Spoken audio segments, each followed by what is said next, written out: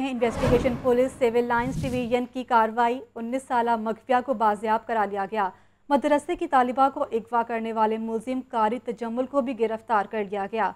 S P civil lines investigation के मुताबिक 19 साल तलबा को मदरसे के कारी ने वर्गला कर अगवा किया।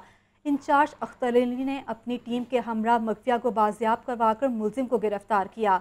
टीआईजी इन्वेस्टिगेशन शारिक जमाल खान का कहना है कि जराइम पेशा नासिर के खिलाफ कार्रवाइयाँ यूँ ही जारी रहेंगी।